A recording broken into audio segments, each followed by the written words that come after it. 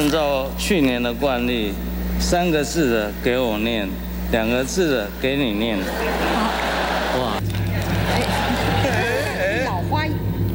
就是这段李康生和陈湘琪抢着公布最新出炉的影后，成为五十二届金马奖的收视最高点。我想都来到国父纪念馆了，应该请国父来决定吧。国父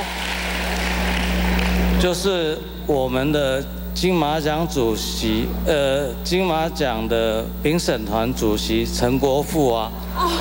两大影帝影后同台，妙语如珠。李康生还搬出国父变成心梗，让台下的观众笑成一片。去年李康生和许鞍华同样颁发最佳女主角，也为金马奖创下最高收视率七点二九。今年和陈湘琪颁奖，创下了收视率六点一二，再创亮点。但今年金马奖的平均收视率却只有四点四二，比起近年来都聚首在五以上的成绩，成为了五年来新低。得奖的是林嘉欣。